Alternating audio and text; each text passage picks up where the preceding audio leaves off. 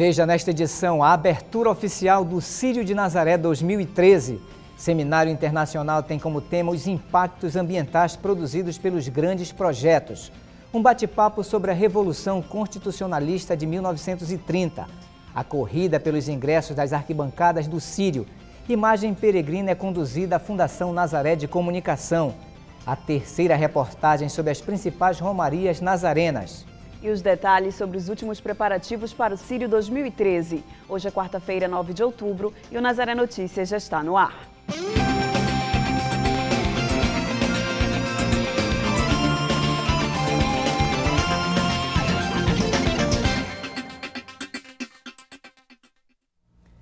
Sírio de Nazaré 2013. A abertura oficial da festividade nazarena aconteceu na noite de ontem em clima de alegria, festa e devoção.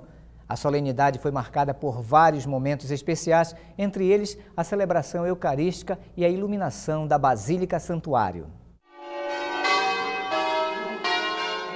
A abertura foi marcada por badaladas de sinos e luzes iluminando a fachada da Basílica Santuário de Nossa Senhora de Nazaré.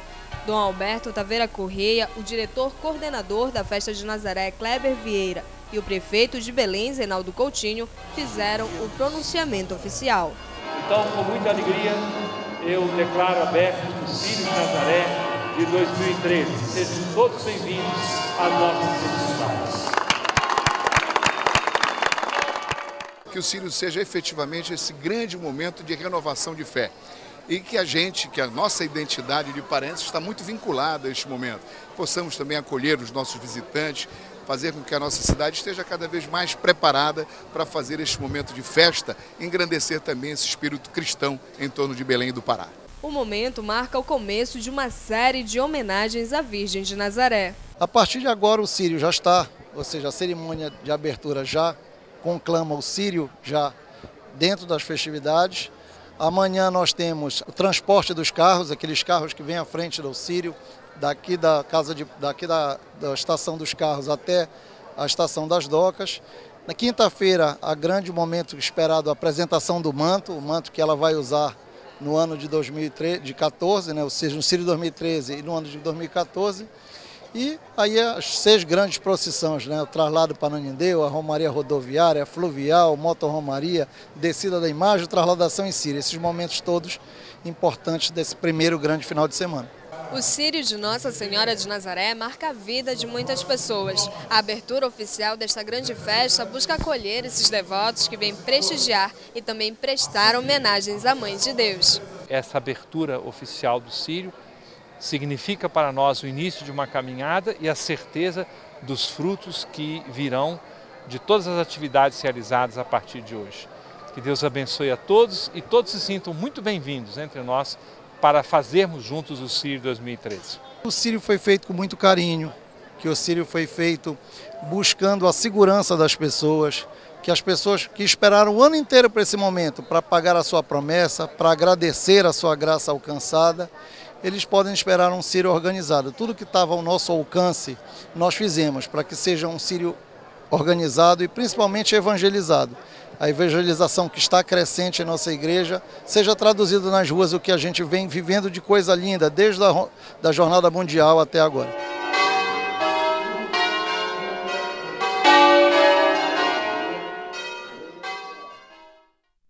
E agora vamos falar de greve. Os professores do Pará decidiram manter a paralisação após uma reunião com o Ministério Público do Estado e com as secretarias de Educação e de Administração. Hoje haverá uma assembleia onde serão discutidos os rumos da paralisação. O MPE está intermediando as negociações. Entre as reivindicações dos professores está a regulamentação das horas suplementares, a diminuição da jornada de trabalho e a lei específica do sistema de ensino modular. E ainda falando de paralisação, o Tribunal Superior do Trabalho definiu ontem o reajuste de 8% para os funcionários dos Correios e determinou o final da greve. A paralisação teve início no dia 12 de setembro em vários estados do país. Os trabalhadores devem retomar as atividades normais a partir de hoje. Também ficou decidido que os Correios pagarão o vale-refeição extra em dezembro e que os benefícios do plano de saúde serão mantidos. Há 30 anos, os grandes projetos chegaram à Amazônia. O principal deles foi o Grande Carajás, implantado na mais rica área mineral do país, abrangendo terras do sudeste do Pará, norte do Tocantins e sudoeste do Maranhão. Os impactos ambientais produzidos por esses grandes projetos são alvos de um seminário internacional lançado ontem pela CNBB. Acompanhe os detalhes na reportagem de Larissa Cristina e Ulisses Machado. O programa Grande Carajás foi oficialmente lançado em 1982. Além da exploração mineral, os militares implantaram projetos agropecuários de extração florestal. O objetivo era desenvolver a região. Contudo, desde aquela época, especialistas criticam os projetos. Nádia Fialho acompanha o programa Grande Carajás desde a década de 80. Ela revela que o retorno econômico da exploração é mínimo perto dos impactos ocasionados. A riqueza ela é exportada a preço mínimo porque os preços são controlados por fora, não pelo Brasil.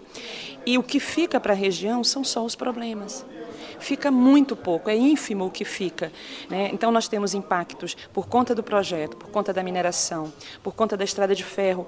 Sai o minério de Carajás, tem a estrada de ferro que impacta várias comunidades, tem o porto para onde de onde esse minério é exportado, os impactos para as populações são terríveis e nada do que fica aqui serve para cobrir, minimizar esses impactos que são sociais, são econômicos, são ambientais, são culturais. Carajás é considerada a área mineral mais rica do planeta. Daqui é extraído minério de ferro de alto teor, ouro, estânio, bauxita, manganês, níquel e cobre. Para escoar a produção, foi construída a ferrovia Norte-Sul, que leva os minérios de Carajás até o porto de Itaqui, em São Luís, no Maranhão. De acordo com este planejador, há projetos de expansão da estrada de ferro até o município de Barcarena, na região nordeste do Pará, ao porto de Vila do Conde. Com dois destinos, aumentará a capacidade de exportação. Com a construção desse trecho, a Sailândia Barcarena, você vai ter uma mudança muito profunda em diversos municípios aqui do estado do Pará, como Paragominas, Ipixuna do Pará, Moju, Abaitetuba e outros que vão ser atravessados por essa ferrovia. Então, um, logicamente, um dos impactos imediatos é a valorização das terras o preço que deve se elevar e com isso, como já ocorre em vários outros pontos da Amazônia, os conflitos em torno da posse dessa terra que vai estar extremamente valorizada. Na década de 80, a Barcarena recebeu projetos de exploração de alumínio. O temor dos moradores é que os impactos socioambientais sejam agravados com a chegada da ferrovia Norte-Sul. Nós tínhamos uma população totalmente que viveu do extrativismo, da agricultura, Tá? E passamos a ter um, uma população a viver da indústria, em parte, porque esta população ela não foi capacitada. Então criou-se as mazelas de bolsões de pobreza. Tá? Então hoje em dia eu diria para você que os grandes projetos, eles beneficiaram muito poucos. As mazelas são muito maiores do que o benefício que trouxeram para nós. Os impactos dos grandes projetos de desenvolvimento na Amazônia são alvos de um seminário realizado pela CNBB e mais de 30 organizações não governamentais. As discussões iniciam neste mês no Pará e no Maranhão e seguem em seminários preparatórios até maio do ano que vem. E essa, essa experiência é muito importante. Junta essa experiência dos impactados com as experiências e os acúmulos das pesquisas científicas que são feitas nas academias, né, nos centros de, de, pesquisa, nos institutos, é, e a gente aí tem um panorama mais qualificado sobre o que aconteceu nesses 30 anos, né, pegando 1984, é, a partir do lançamento do programa Grande Carajás, e 2014, que é quando faz 30 anos. As polícias federal e militar de Altamira, no sudoeste do Pará, enviaram uma equipe para a aldeia Coatinemo, habitada pela etnia Surini. Segundo informações da PF, os indígenas flagraram oito pessoas dentro de suas terras. A suspeita de que o grupo estaria envolvido em grilagem de terras. Os indígenas aguardam a chegada da Polícia Federal para liberar as pessoas. O recadastramento biométrico chega hoje aos municípios paraenses de Castanhal e de Capitão Poço. O serviço ficará disponível até abril de 2014.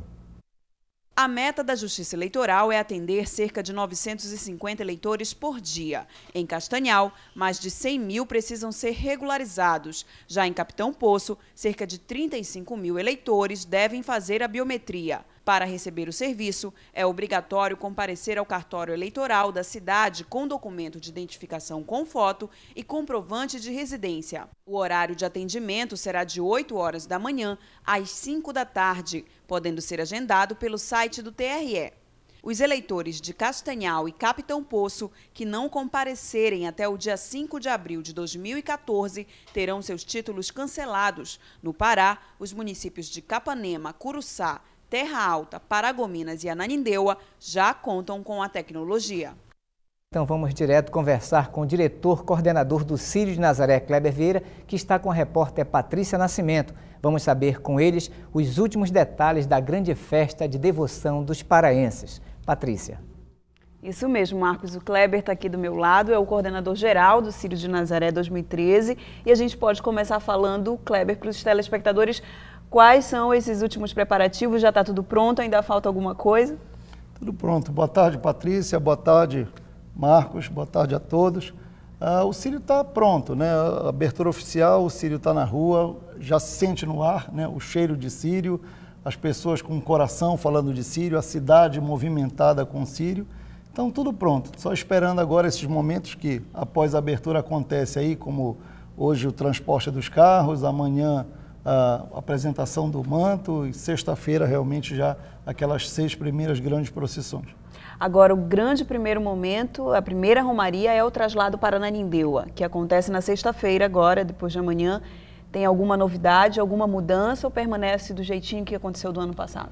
É, como no ano passado, ou seja, nós temos uma missa que acontece na Basílica, a missa do traslado, às sete da manhã, e após essa missa é a nossa saída. Então, ou seja, a saída está prevista para oito e meia, podendo, ou seja, dependendo da celebração, sair um pouquinho antes, oito e vinte, ou seja, dependendo de sair.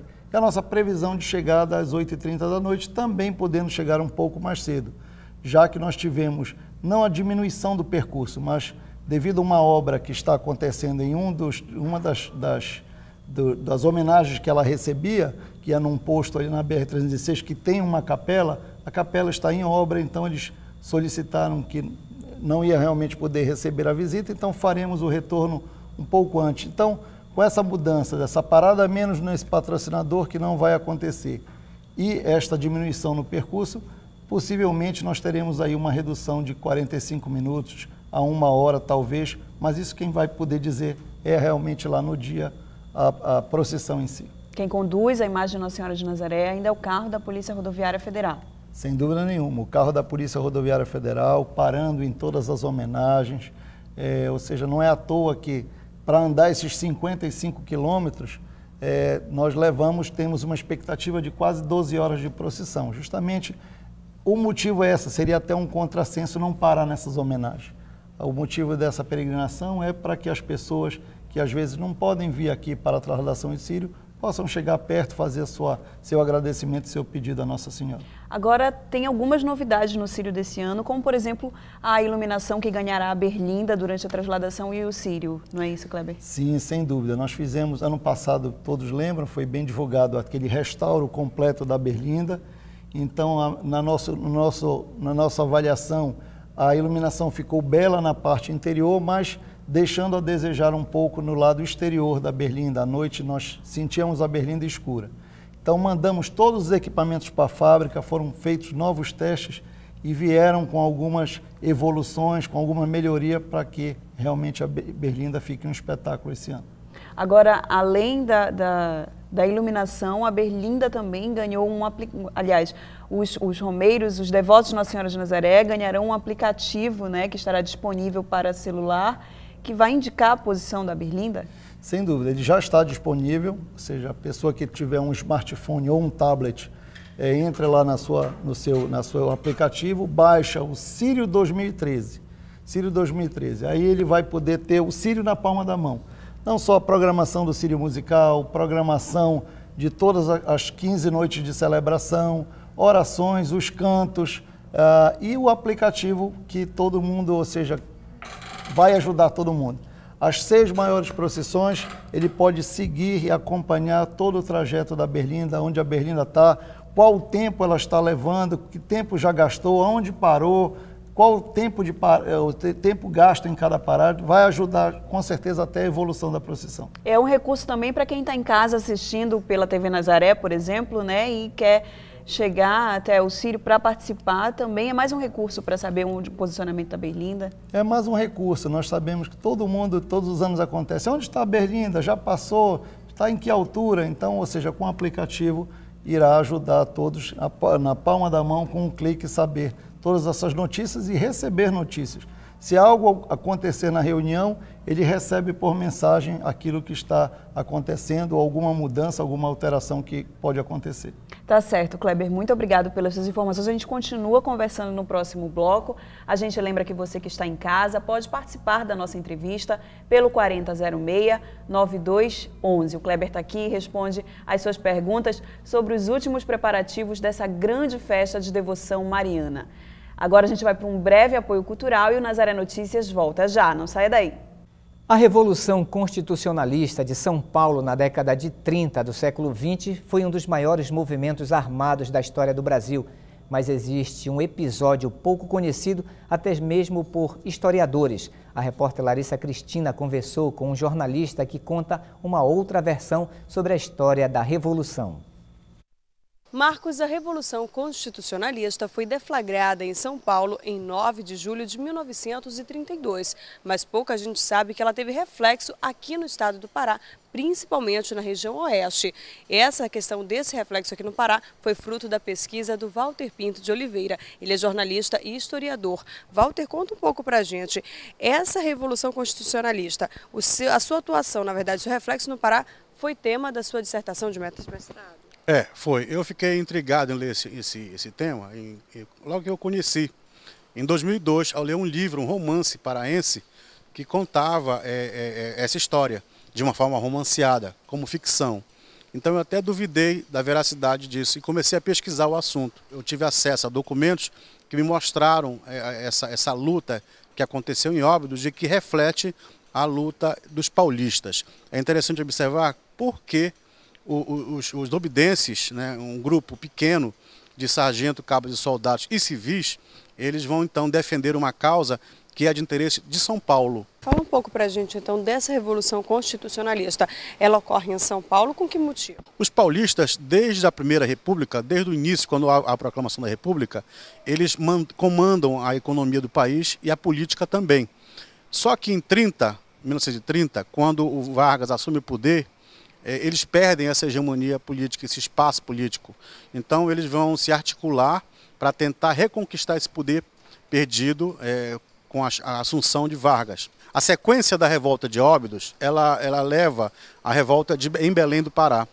Quando os obidenses são presos e chegam em Belém, acontece a Revolução de Belém, justamente feita para libertar os presos de Óbidos. É uma revolta de um dia, acontece na noite de 6 para 7 de setembro. Ela é importantíssima porque é o batismo de fogo do movimento secundarista paraense, que até então não existia. É, os estudantes do colégio Padre Carvalho, que naquela época chamava-se Ginásio Paraense, eles pegam em armas, eles tomam a central de polícia, eles tomam também, ocupam o quartel da, da polícia militar, né? E, então é uma, uma afronta ao governo do Barata. É o surgimento, de fato, do movimento é, é, é secundarista no Pará, é, com a Revolução Constitucionalista de 32. Percebemos, Walter, que este livro ele tem muita história para contar, histórias curiosas que muitas pessoas não sabem. Como adquirir esse material, onde encontrar? É, eu acho que a importância maior do livro é trazer ao conhecimento dos professores e dos alunos um assunto que só é conhecido na sua parte paulista. Né? Você, quando vai para a sala de aula, quando estuda o período Vargas no ensino é, de segundo grau, no ensino médio, você vê a, revolta, a Revolução Constitucionalista, mas a de São Paulo. E, e, em Belém você não vê nada, no Pará você não vê nada sobre essa luta que houve também aqui. É, o livro está à venda na livraria de Belém, na Fox, é, é, na livraria Fox, nas bancas de revistas, né? e, e, aqui na, na, na livraria da universidade. Vai estar à venda também. Obrigada, Walter, pelas suas informações. E a gente mostra, então, Marcos, o livro é 1932, a Revolução Constitucionalista no Baixo Amazonas, para todos que estiverem curiosos a saber um pouco mais sobre essa história. Agora eu volto no estúdio, é com você. E vamos voltar a falar de Sírio de Nazaré. Começou hoje a venda dos ingressos para as, as arquibancadas da Trasladação e do Sírio. O ponto de venda está localizado no Parque de Diversões do Arraial de Nazaré. 5 mil ingressos foram disponibilizados para cada procissão. A fila dava voltas no quarteirão. Os ingressos começaram a ser vendidos às sete e meia da manhã, mas teve gente que chegou seis horas para pegar um lugar. E embora espera nada de desânimo. Todos os anos eu compro arquibancada, né? Então ficar nessa fila é uma glória para nós, né? Com certeza a gente, tu sabes que a gente até agradece, porque ainda tem força, coragem de estar aqui nessa fila por amor a Nossa Senhora. 5 mil ingressos foram disponibilizados para cada procissão. Para a trasladação, o valor é 25 reais. para o Sírio, 50. E cada pessoa só pode comprar até cinco ingressos. É, vou eu, meu marido, minha filha, a neta, o genro, toda a família vai para lá. Além dos ingressos vendidos, uma quantidade será distribuída gratuitamente. Nesta quinta-feira, 1.100 ingressos serão distribuídos a idosos com mais de 60 anos. Eles serão disponibilizados neste mesmo local. Os idosos só terão direito a um ingresso por pessoa e podem retirá-los a partir das 7 da manhã neste mesmo local. Quem preferiu garantir logo o seu, saiu só felicidade. A minha felicidade é enorme, demais. Quantos ingressos a senhora comprou? Só dois, um para a relação e o possível. As arquibancadas ficam localizadas na Avenida Presidente Vargas, no trecho da Praça da República, e possuem uma visão privilegiada da procissão. De lá a gente vê melhor o, o Sírio, aí vê melhor, mais confortável para a família. Vale a pena ficar nessa fila toda? Vale, vale a pena. E começou nesta manhã a vigília de adoração. Ela serve como preparação para os fiéis para as 11 romarias. O momento de adoração dura 48 horas e envolve todos os setores da Arquidiocese de Belém. Antes das 11 romarias oficiais do Sírio, dezenas de grupos, movimentos, serviços e pastorais de várias paróquias da Arquidiocese de Belém participam de 48 horas de adoração ao Santíssimo Sacramento da Eucaristia na Capela do Bom Pastor, no Centro Social de Nazaré. É a vigília de oração que só termina antes do traslado para Nanindeua, a primeira romaria oficial do Sírio de Nazaré. Aproximadamente 50 grupos se revezam em adoração e oração dia e noite até o início do traslado. A vigília de adoração é considerada a maior vigília realizada na Arquidiocese de Belém. Na tarde de ontem, a imagem peregrina de Nossa Senhora de Nazaré foi conduzida ao prédio da Arquidiocese de Belém. Para os funcionários da Cúria Metropolitana e da Fundação Nazaré de Comunicação, esse foi um momento de alegria e devoção. A pequena imagem traz consigo oração, um gesto importante para quem trabalha levando a palavra de Deus a tantas pessoas. Parada dentro da capela da fundação que leva o nome da Mãe de Deus, a pequena imagem guardava em cada gesto, em cada toque, em cada lágrima, pedidos e agradecimentos.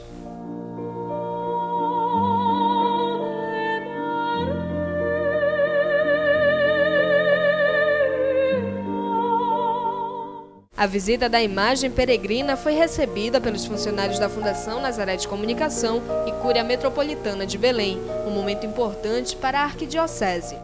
Necessitamos de fato das bênçãos de Deus para que a nossa comunicação seja uma comunicação de vida, como se quer, e seja uma evangelização através da palavra que comunica, através de todos os programas que comunicam vida e fé. A visita realmente da, da, da nossa Mãe Santíssima vem para exatamente fechar esse ciclo né, de mais um Sírio, graças a Deus, né, e nos abençoar. Ronildo divide este momento com a esposa. Para o casal, este é um Sírio mais que especial, graças ao nascimento do pequeno Miguel. Verdade.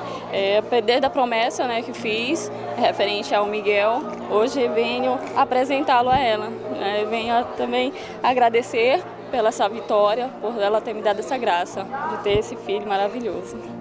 A imagem peregrina visita lares, diversos municípios paraenses e também muitas instituições aqui em Belém. Na Fundação Nazaré de Comunicação não poderia ser diferente. Ela já está indo embora, foi uma visita rápida, mas de grande significado para os funcionários daqui.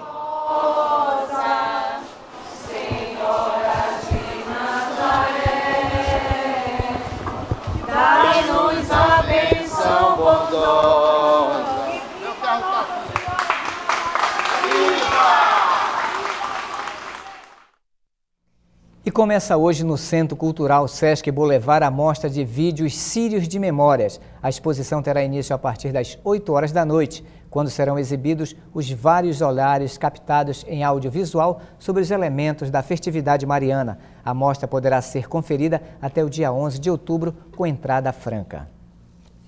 E vamos voltar com a repórter Patrícia Nascimento, que está com Kleber Vieira, diretor-coordenador do Sírio de Nazaré 2013. Patrícia. Isso mesmo, Marcos. O Kleber está aqui do meu lado e como nós vimos algumas reportagens sobre o Círio de Nazaré, sobre esses últimos preparativos, o Kleber já me deu algumas informações e uma delas é de que os ingressos para as arquibancadas do, no domingo já encerraram. Isso é uma boa notícia, né, Kleber? Sinal de que demonstra a magnitude dessa festa. Sem dúvida. É, a procura é muito grande, a demanda é pequena. Seja, são 5 mil lugares, uh, ah, 6 mil contando com, a, com, a, com as gratuidades, ou seja, então, uh, para assistir essa maior manifestação de fé do planeta, realmente a gente sabe que esgota rápido. Eu costumo dizer, se nós tivéssemos oportunidade de 20 mil lugares, nós venderíamos os 20 mil lugares. Mas é o espaço que se tem, é, é aquelas coisas que sempre uh, se comenta, são os desafios da diretoria. Agora a gente lembra que amanhã os idosos podem ir é, retirar o seu ingresso de gratuidade, não é isso? Sem dúvida. Amanhã, nesse mesmo local, ali em frente ao ao, ao ITA, onde está montado o parque de diversão, nas bilheterias ali à frente, é, onde estão as vendas hoje, os ingressos para o Sírio. Ainda temos para trasladação, ou seja, então corra lá para garantir seu ingresso para trasladação. Amanhã será disponibilizado as gratuidades por ordem de chegada. É, não pode ir o filho, o pai, tem que ir, ou seja, realmente o idoso ou portando a sua identidade.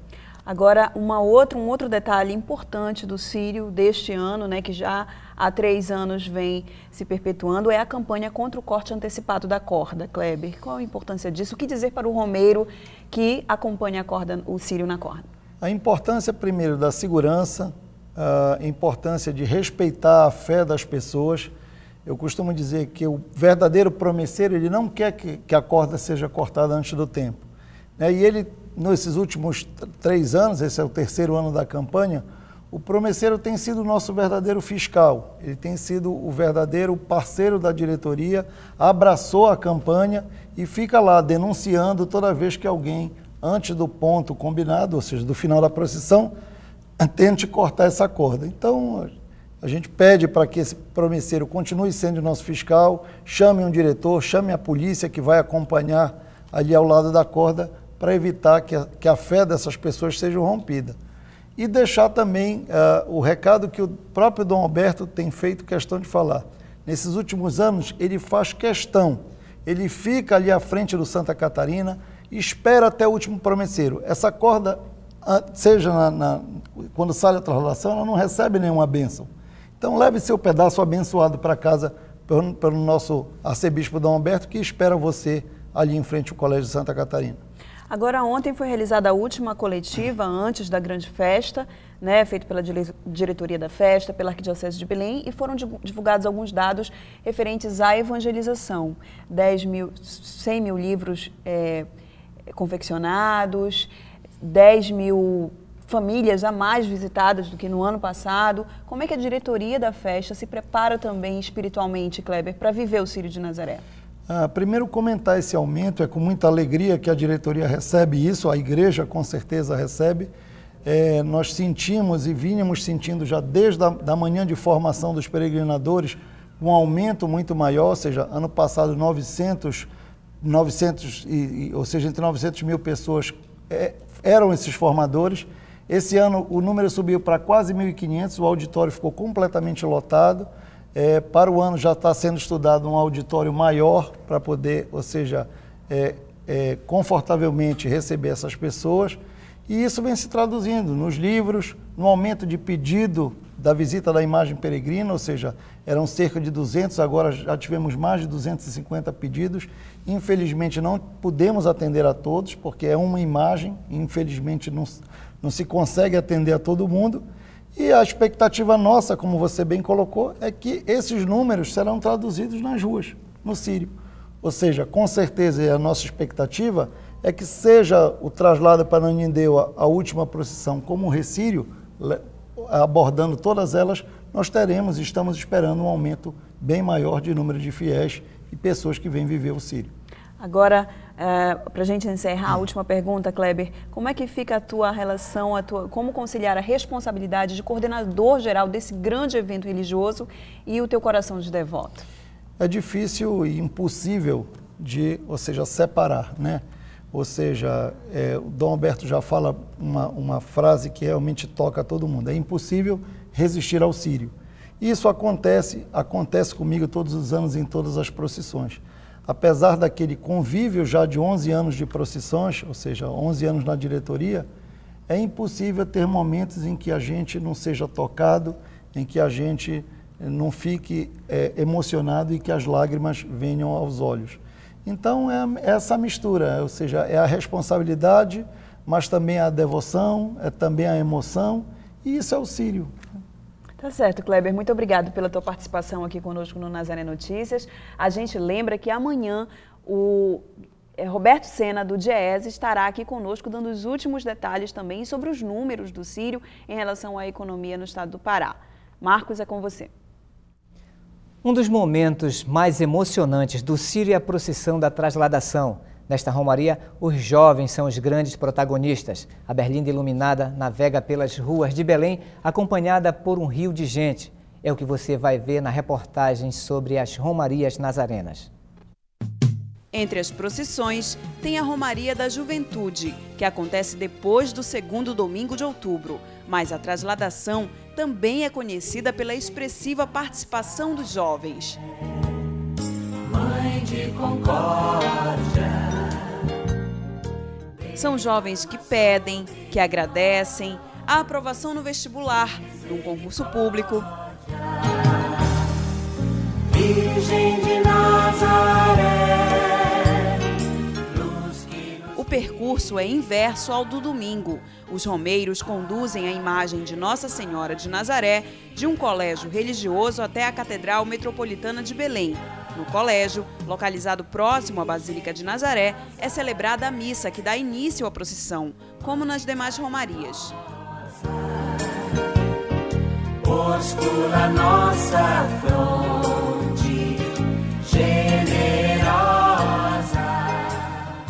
A corda tem 400 metros e é aqui que se vê pela primeira vez a berlinda decorada com flores. A noite ameniza o cansaço e o calor dos promesseiros e a iluminação dada à imagem de Nossa Senhora de Nazaré ajuda a avistá-la de longe.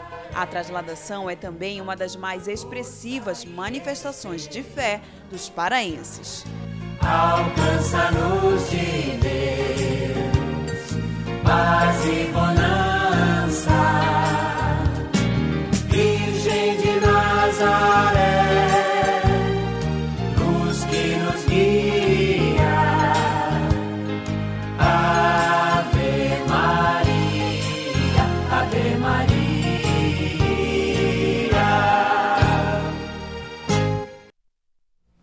E amanhã você vai acompanhar a matéria sobre os principais momentos da grande procissão do Círio de Nazaré. E hoje, às 8 horas da noite, no programa Encantos da Amazônia, a TV Nazaré exibirá o documentário especial sobre a grande festa da Rainha da Amazônia.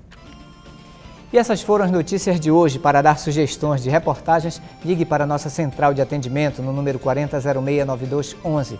E se você quiser rever nossos vídeos, acesse o portal Nazaré www.fundacionazaré.com.br ou acesse a nossa página no Facebook. Nazaré Notícias fica por aqui, nos encontraremos amanhã na próxima edição. Até lá!